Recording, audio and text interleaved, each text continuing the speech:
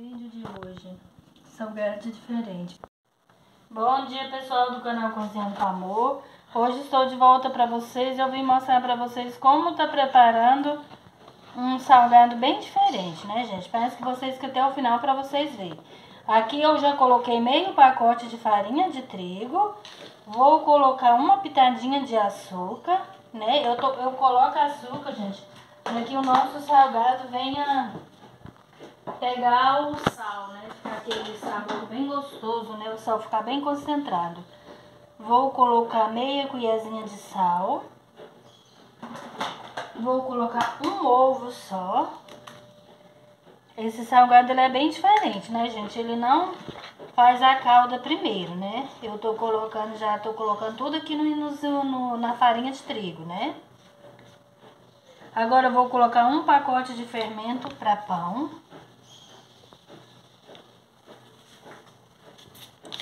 Que vocês até o final, para vocês verem que salgado gostoso. Ele é facinho de fazer e fica bem gostoso. Vou colocar duas colheres de margarina, né?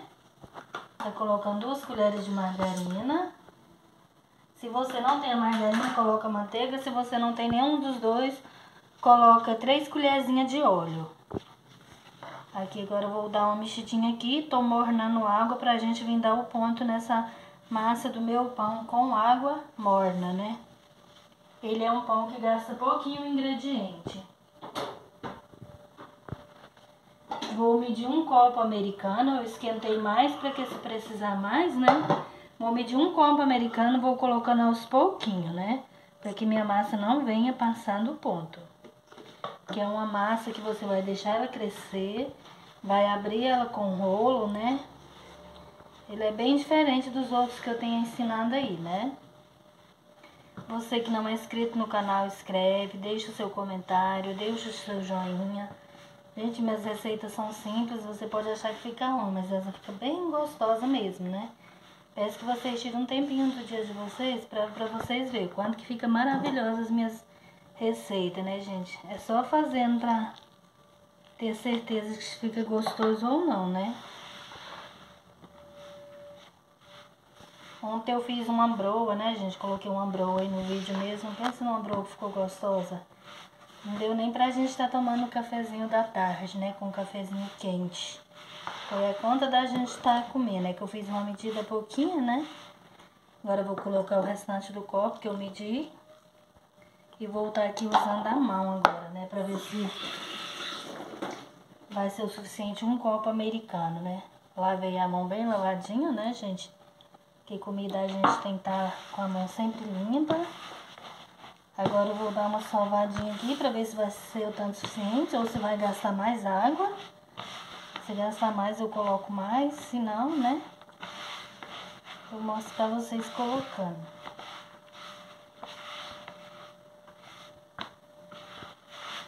Acho que eu vou colocar só mais um pinguinho, né? Senão vai passar no ponto, porque aqui ela já tá quase boa já, né?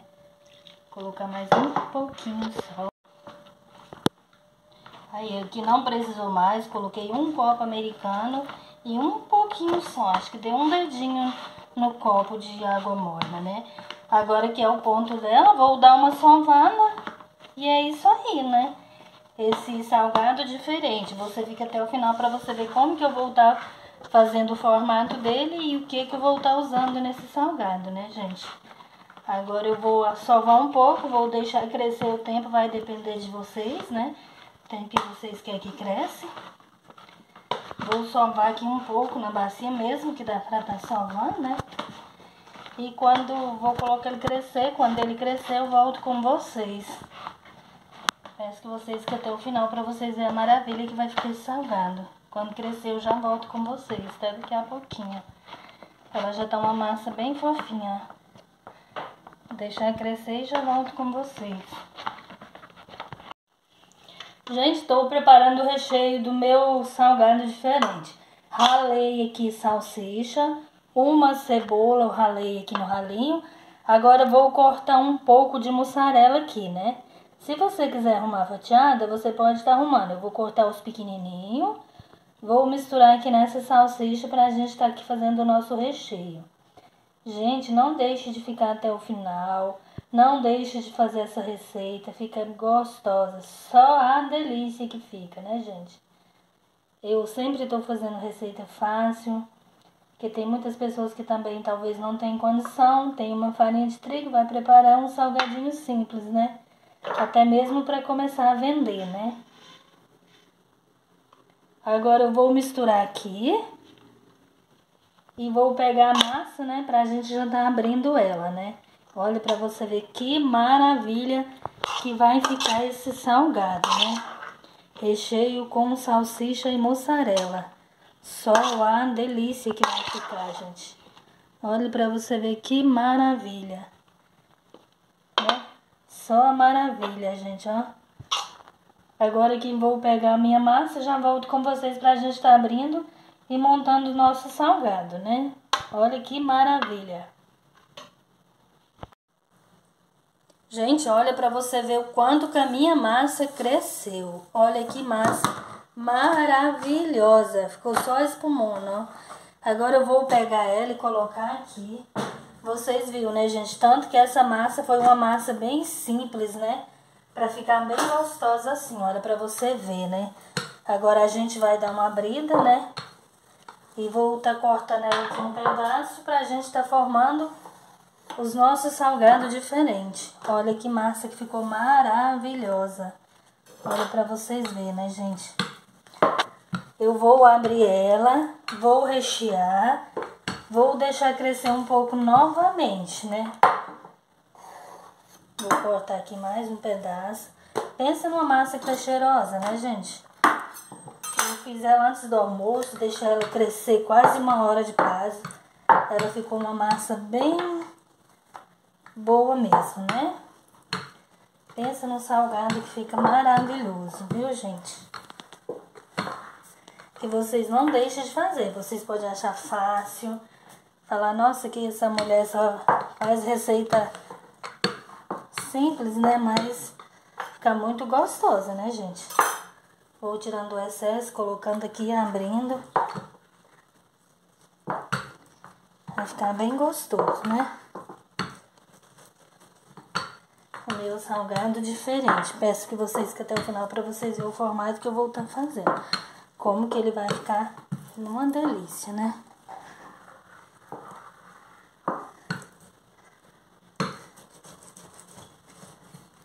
Tá bem fofinha, cheirosa. Agora eu vou pegar, né? Vou estar tá espalhando ele aqui, ó. Que é a mussarela. E a salsicha e cebola ralada, né? Vou colocar aqui.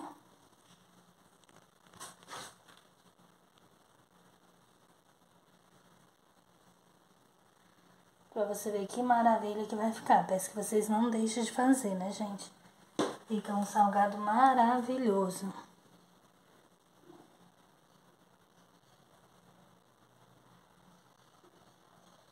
Agora vou dobrar essa pontinha aqui, né? Pra gente estar tá fechando ele. Agora eu vou estar tá enrolando ele, né? Pra vocês verem tanto que ele vai ficar maravilhoso.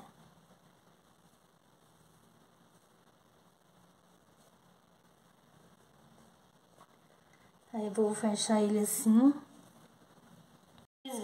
Aí eu fiz ele assim. Agora eu vou cortar ele assim, né? Vou tá cortando os pedacinhos assim.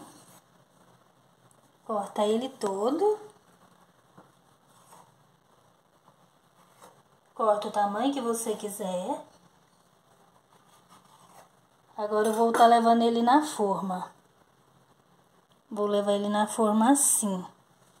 Vou preencher toda a minha forma. Peguei uma bem grande para a gente estar tá preenchendo, né? Aí, né, gente, aqui eu cortei ele. Agora eu vou pegar, pra finalizar, eu vou estar tá jogando um pouquinho de orégano aqui neles, né?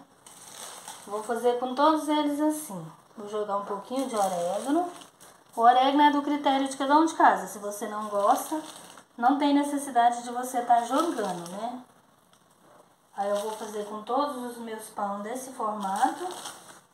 Quando já estiver pronto, vou deixar crescer novamente uns 20 minutinhos e volto com vocês. Agora eu vou estar enrolando mais, vou dar uma pausa para mim estar enrolando para estar terminando. Quando eu terminar, eu volto com vocês. Aí, ó, gente, aqui eu já fiz todos, deu essa forma, essa minha forma é bem grande. Vou deixar crescer novamente uns 20 minutos e já volto assando pra vocês. Olha pra vocês verem que salgado maravilhoso, né? Quando tiver prontinho, eu volto novamente com vocês. Até daqui a pouquinho eu volto novamente. Gente, aqui eu terminei o meu salgado, já assei, já levei pra assar, já assou.